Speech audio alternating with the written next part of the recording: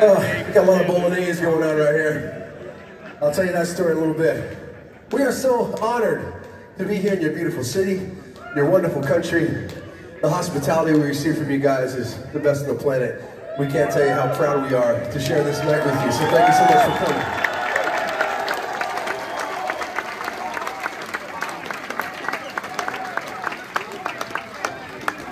I say this everywhere we go because it's the truth.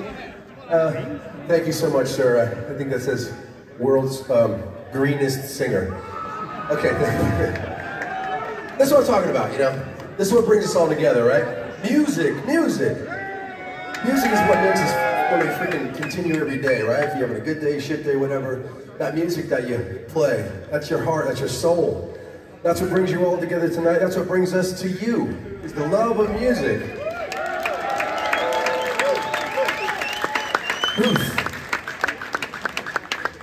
And that's why it's so important that we express to you our gratitude and our thanks, because we wouldn't be here without the most important thing, my friends. We would not be here without you.